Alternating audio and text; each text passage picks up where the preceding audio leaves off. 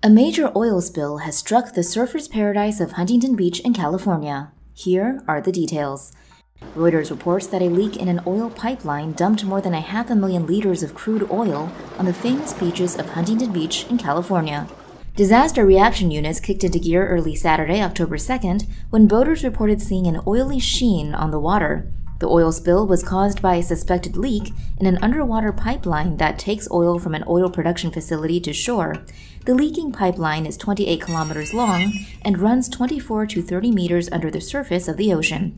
It connects to an oil production platform named Elly, which in turn is connected by a walkway to a drilling platform named Ellen.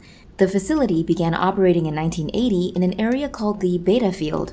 Oil pulled from beneath the ocean and processed by Elly is taken by the pipeline to Long Beach. Authorities say beaches will remain closed for weeks and maybe even months. All of Huntington Beach was closed, and the spill covered beaches from the Huntington Beach Pier down to Newport Beach, a stretch of beachfront that's popular with surfers and sunbathers.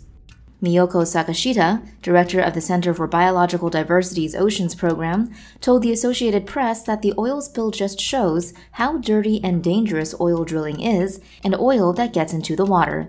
It's impossible to clean it up, so it ends up washing up on our beaches. Last month's oil spill in Mauritius could end up ruining one of the last great hotspots of marine biodiversity left on Earth. Now, an investigation suggests it happened because someone on the ship wanted to get within cell phone range of the island for a birthday celebration, among other damning details. Here's what we know so far. The Panama Maritime Authority has officially joined the investigation of the final voyage of the MV Wakashio. The Wakashio ran aground on a coral reef in July and broke apart in mid August, spilling 1,000 tons of oil. It was the worst environmental disaster in the history of Mauritius.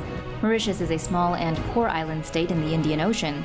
It depends on fish, corals, and marine wildlife for food and tourism for its economy. The accident happened at Point Esne, a coral reef that lies near a marine park and is listed under the Ramsar Convention on Wetlands of International Importance.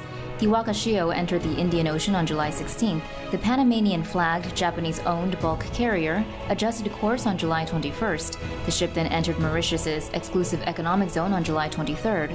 On July 25th, it changed course again and collided with the reef off the coast of Mauritius at 7:15 p.m. The Panama Maritime Authority confirmed revelations first reported by local newspaper L'Express. The Wakashio made a course change to get within five miles of Mauritius to pick up a cell phone signal for a crew member's birthday celebration. The investigation also found that the chart displayed on the Wakashio's electronic chart display and information system was the wrong chart and the wrong scale. This made it impossible to properly verify the approach of the coast and shallower waters. Mauritian waters are home to 1,700 species according to the UN Convention on Biological Diversity. Speaking to the BBC, Corina Ciocan, a senior lecturer in marine biology at the University of Brighton, said there are very few such marine areas with such rich biodiversity left on the planet. An oil spill like this will impact almost everything there. Sunil Kumar Nandeshwar, the captain of the Japanese ship, was arrested last month and charged with unlawful interference with the operation of a property of a ship that resulted in unsafe navigation. The 58 year old Indian national faces 60 years in jail if found guilty. Sri Lanka's beautiful beaches are being swamped by billions of plastic pellets and toxins as the country deals with a massive and growing environmental disaster. The disaster started when a fire erupted on a container ship after it anchored near the port of Colombo.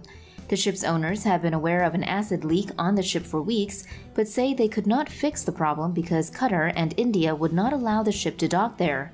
Here are the details. The BBC reports that Sri Lanka is dealing with a growing environmental disaster as billions of plastic pellets, oil, and dangerous chemicals from a sinking ship smother its coastline. The container ship X-Press Pearl left the Indian port of Hazira on May 15th, heading for Colombo. The ship had earlier sprung a leak of highly corrosive nitric acid, but its owners claimed they had been denied permission by both Qatar and India to dock the ship. While it was anchored off Sri Lanka's Colombo harbor, a fire broke out on May 20th. Sri Lankan officials believe the fire was caused by the leaking acid. The ship then burned out of control for two weeks before settling in the shallow waters of the harbor. In that time, hundreds of shipping containers fell into the sea, releasing toxins and billions of plastic pellets into the ocean. The plastic pellets have already covered miles of Sri Lanka's famously beautiful beaches. Experts say the pellets still in the sea could travel as far as India, Indonesia, and Somalia. Local fishermen were told to stay out of the ocean, but the fishermen say they need to fish to survive and will need to be compensated by the government.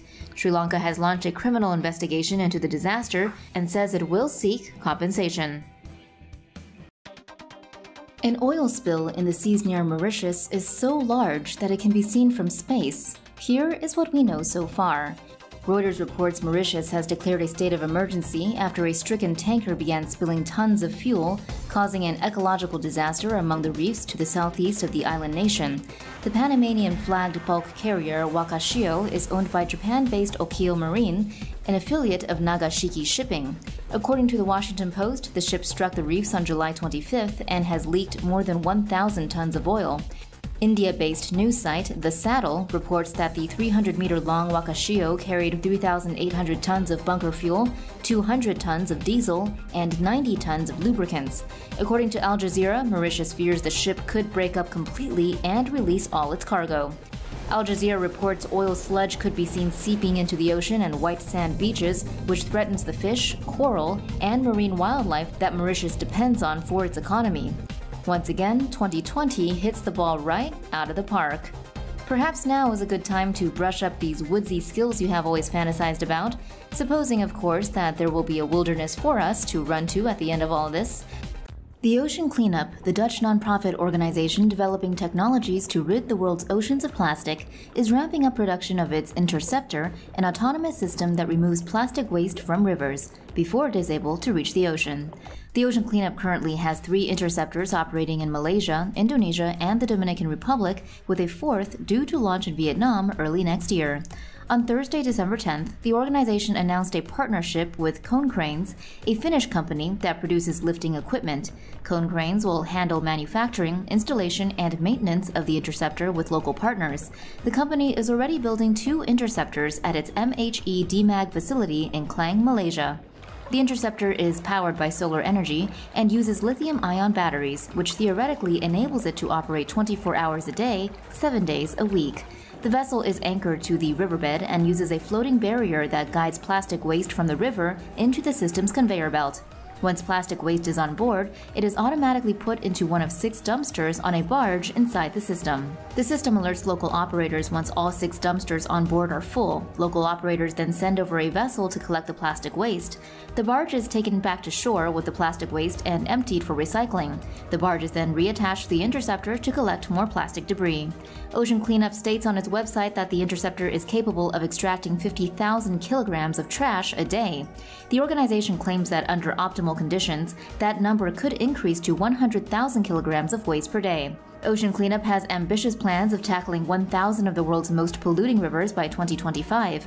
The organization says it has established that these waterways, which comprise 1% of the world's rivers, are responsible for 80% of plastic waste present in oceans. In October, the organization announced that it would sell sunglasses made from plastic it has recycled from the Great Pacific Garbage Patch to help fund its operators. For more news animations and explainers, hit the subscribe and bell button to join the TomoNews family. Thanks for watching.